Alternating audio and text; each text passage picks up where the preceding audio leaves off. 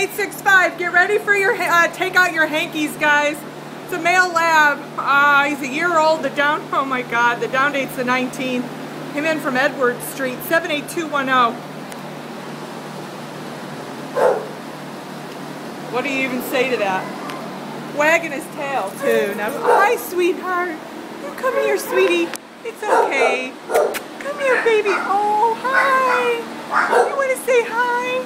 Oh, bless his heart. This dog is so skinny. Oh, my gosh. How in the world do you let a dog get in that kind of condition? You know how many people must have just walked right by him and not helped him? He's stuck out at the Brooks facility. This poor baby just came in.